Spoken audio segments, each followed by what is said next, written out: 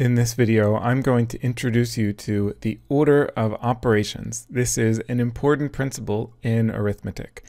And I'm also going to show you the importance of spacing in Python and the importance of parentheses. And you will see the difference between spacing, which is used for visualization, and parentheses, which is used for grouping.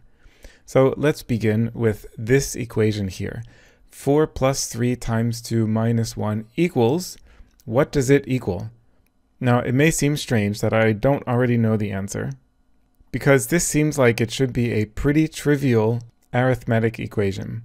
However, there's multiple ways that we can interpret this, so we can get very different answers depending on how we group these numbers, these arithmetic operations together.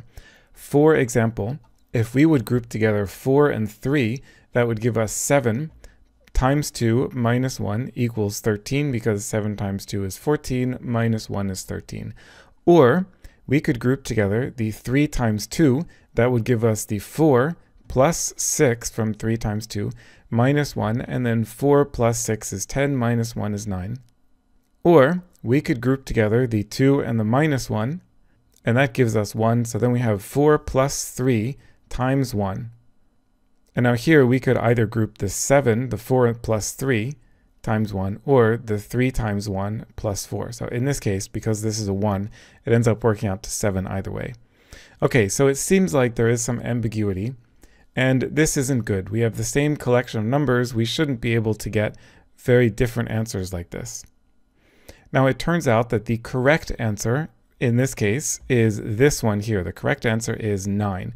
We group together the 3 times 2, and that takes priority over the addition and the subtraction. So how do I know that this is the right answer and this is the wrong answer?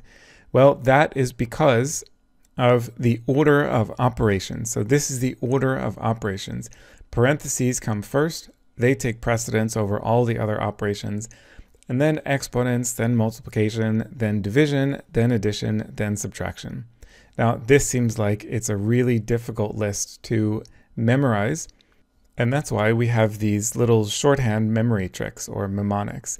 So we have P E M D A S. Some people will remember this by PEMDAS, and some people remember, please excuse my dear Aunt Sally. So parentheses, exponents, multiplication, and so on.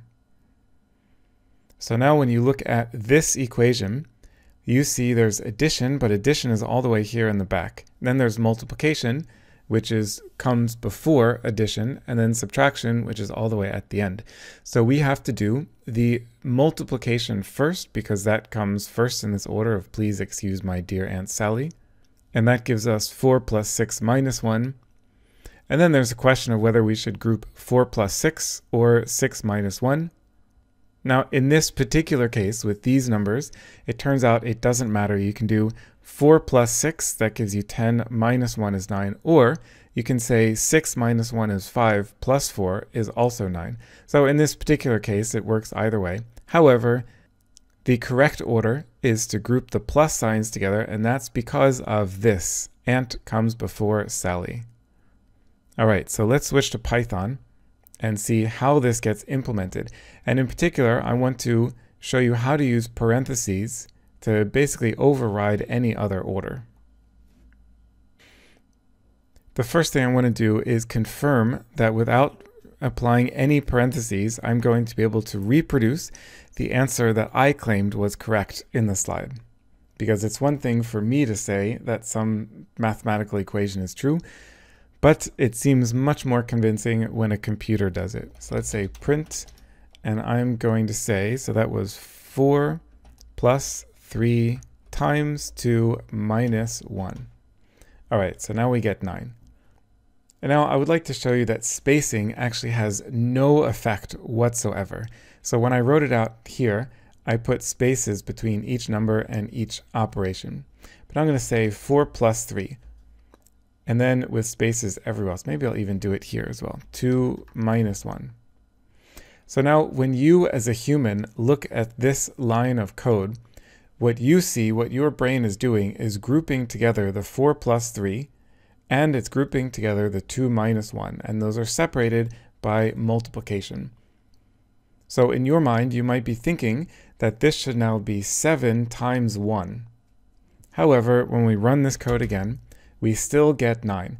So the point here is that spacing is really important for humans, for you looking at your code and for other people to be able to interpret your code and read your code.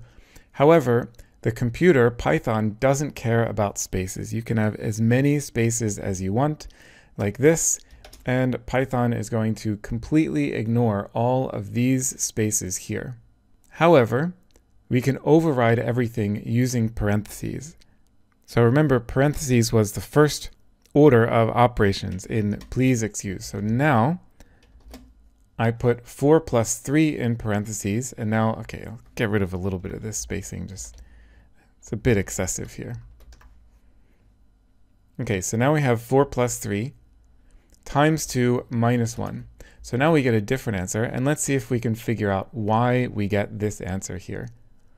So this comes because we say 4 plus 3. Now this gets grouped together, so this is 7. And now what gets grouped over here? So we still have the multiplication. So actually Python is grouping together the 7 times the 2. So this gets run next. And 7 times 2 is 14. And then we say uh, minus 1 is 13. So again, we can override this by saying, by adding parentheses here. And now we are really going to get an answer that is consistent with the visual grouping. So now the answer is 7, and that's because this gets grouped together as 4 plus 3 equals 7.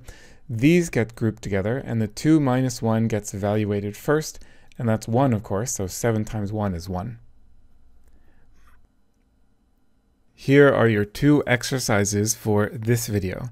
What you see here is uh, two exercises, and each one contains four numbers and three arithmetic operations.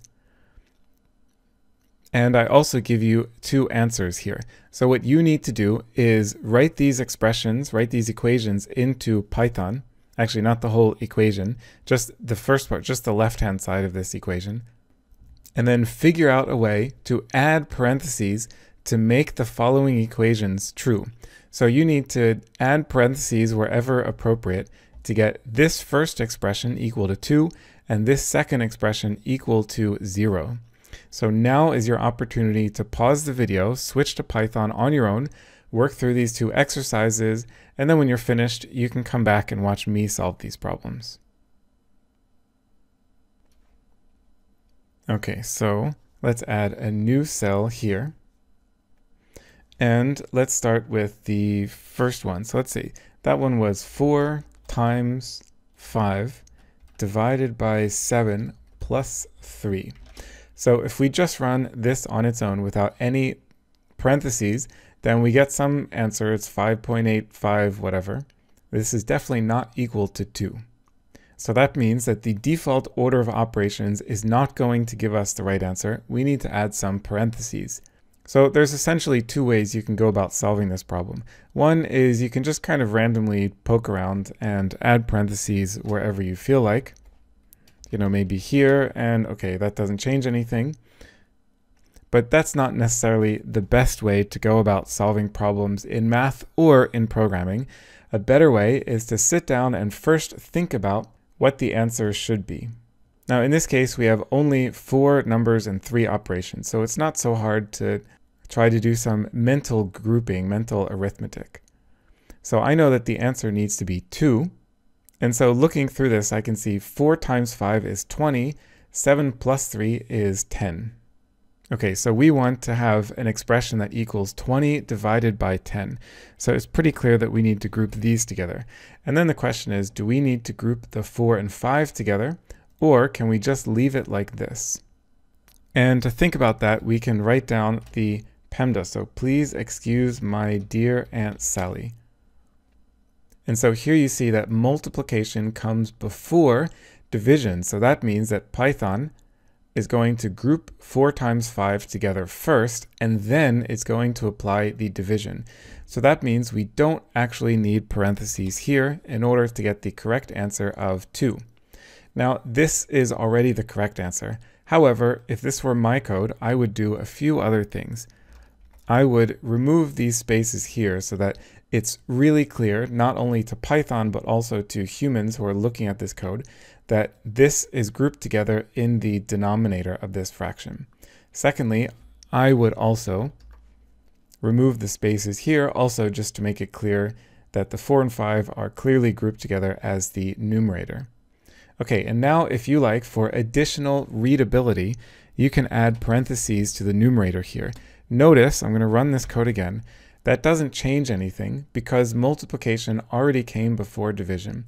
However, I think you will agree that with the parentheses in the numerator, it just looks a little bit easier to parse compared to without the parentheses.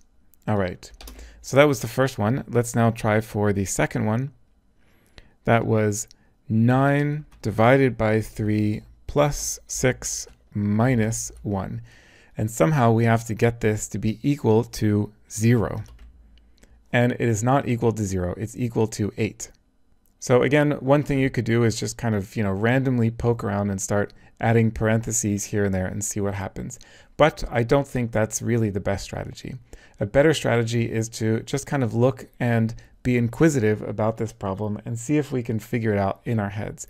So this is 9, and then divided by 3 plus 6. So if we group these together, we get 9 divided by 9, which is 1, and then minus 1, and that'll give us 0.